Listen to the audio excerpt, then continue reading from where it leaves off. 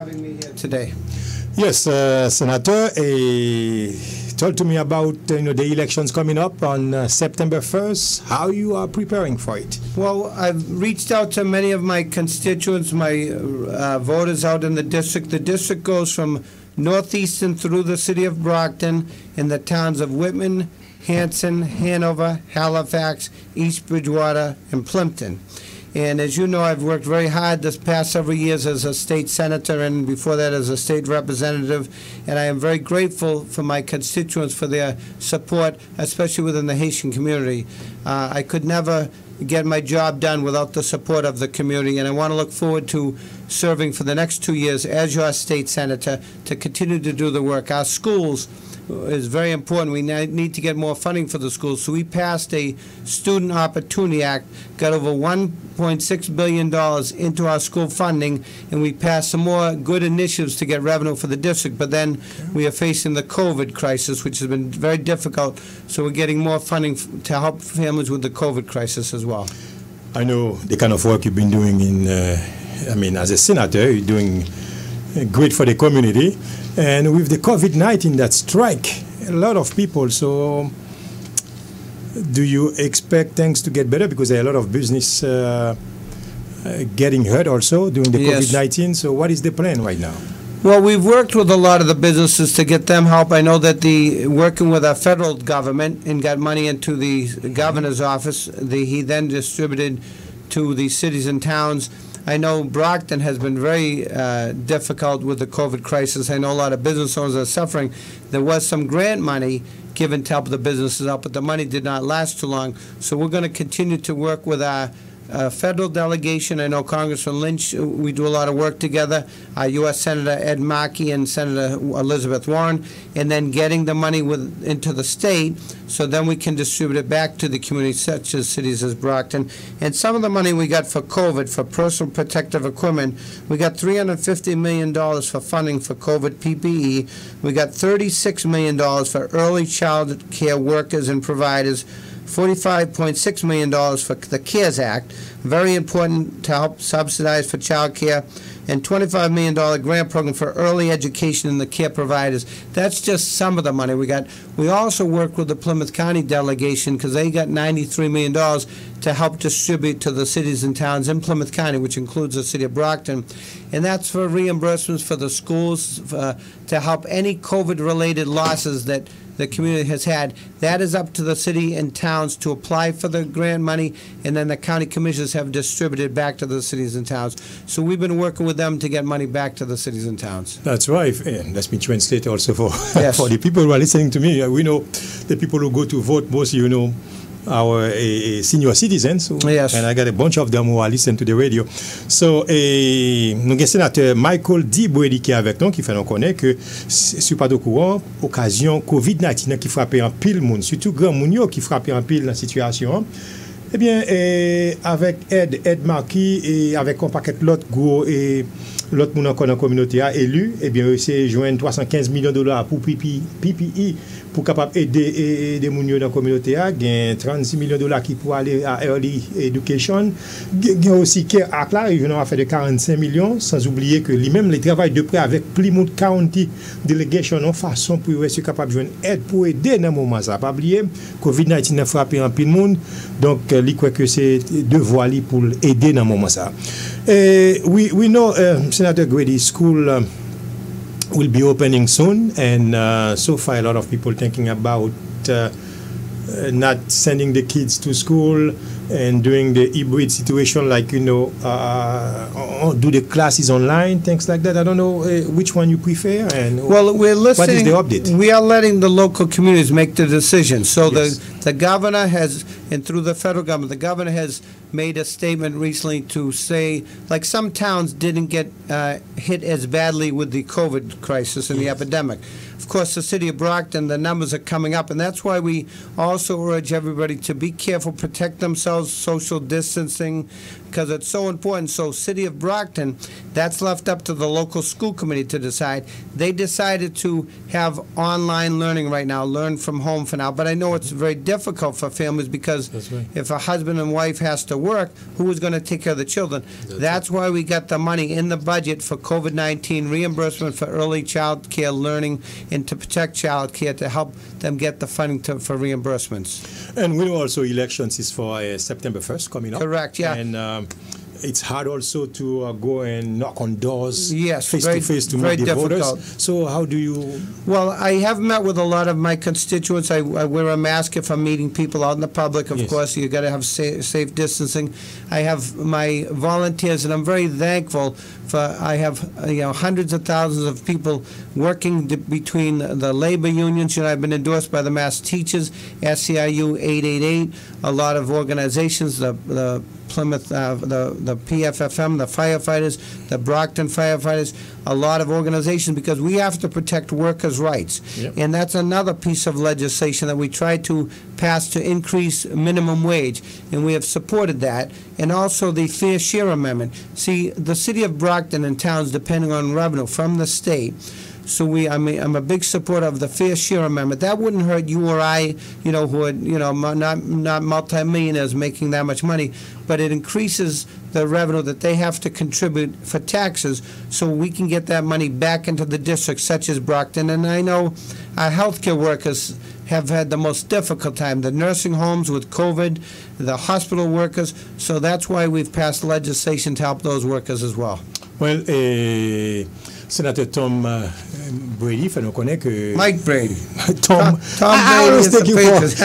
I know. It's not for the first time. I, I know. think Last time He I have make- this problem. he- he Tom makes- Brady, he's already moved to Well, Kent. yeah, he makes more money than I do. I'm a big Patriots fan. I it's am hard too. for me to get uh, Tom Brady out of my system, hopefully. But now we're talking about the senator, Senator Michael D. Brady. Yes. It's very important. So, qui fait nous connaître que la travaille aussi avec eh, Brockton Firefighters. Je me parle là, fait de l'école là qui est pour là. C'est comment élèves yo le faire pour retourner qui opte des cap dit dit non et ben parler aussi au sujet de c'est plus la caillou ti moun yo pour arrêter mais c'est pas dur parce que le gen Maria ou gen madame dans tout deux ap travail comment ti moun n'a pas faire kounya là pour rester en caillou pour compte libre donc tout autant de autant de problèmes que Covid-19 a créé mais a fait nécessaire à ce que pour capable protéger ti moun yo meilleure façon pour protéger mais que vous mettez masque ou même qui prend dehors so this is very important so um, and what about the fundraising? How does it work for you? Well, I've, uh, thank goodness that I have a lot of people within the Haitian community in the city of Brockton and the surrounding towns, Randolph, you know, Norfolk County. They have been able to donate to my campaign through my P.O. Box, which is P.O. Box 4553 in Brockton. The zip code is 02303. Uh, They, they send checks into the committee to elect Mike Brady. At- And then also, I meet with residents, and this is the most important thing. As an elected official, you have to be out into the neighborhoods, into the public, to meet with the residents. In my work ethic, I've been out there 24/7, always available to my constituents. And I want to thank my staff, too. You know, Jean Derenoncourt worked for me at one point. He moved on to run for mayor. He was a great help. He's helping me more with my campaign. My chief of staff, Al Di and, and my chief of staff in my, my, my uh, office. A lot of calls to my office about unemployment issues. And we've been able to try to help as many people as possible. And please, if anybody needs to contact the office, that is 617 722 1200, because there are so many issues that people are suffering out there.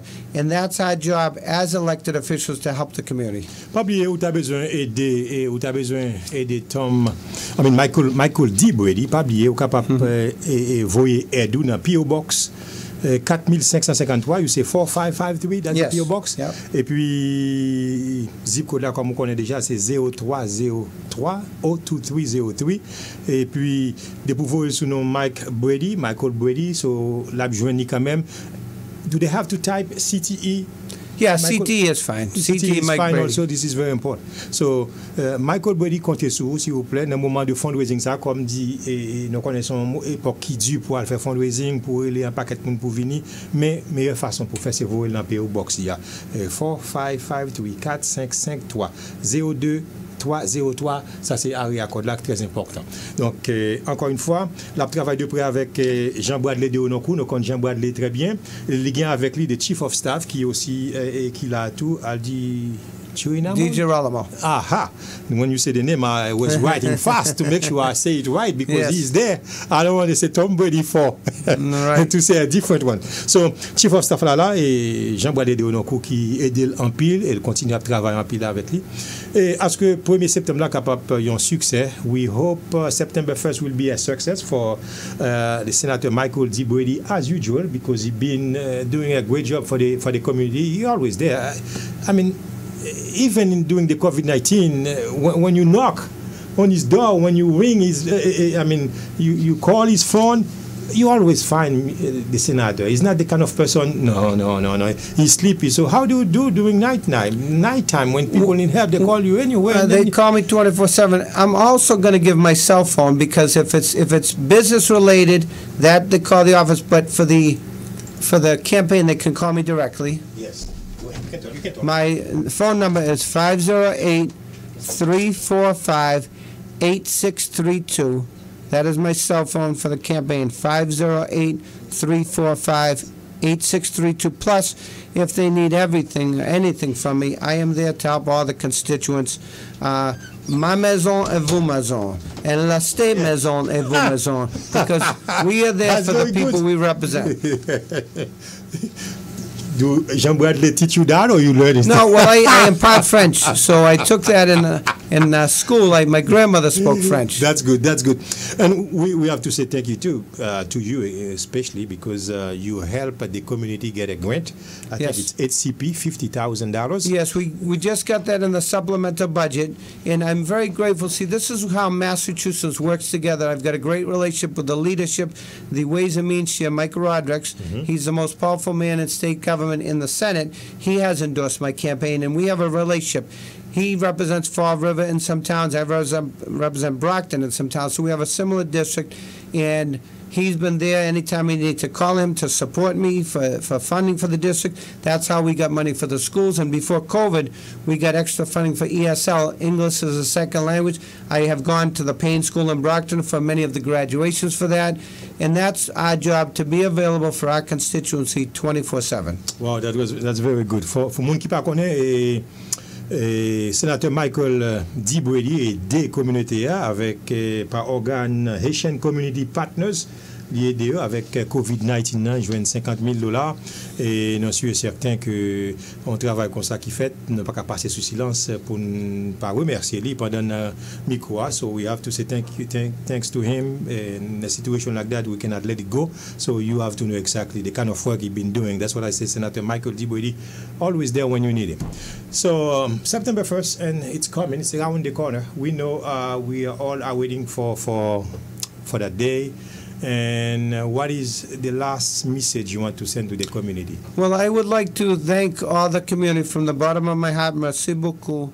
Uh, I could never do my job without the community support. And we are doing early voting by mail right now. There a lot of constituents that send out applications to vote by mail, especially senior citizens. And I've always been supportive of initiatives to help our seniors. It's very important to them to get protection on their health and everything.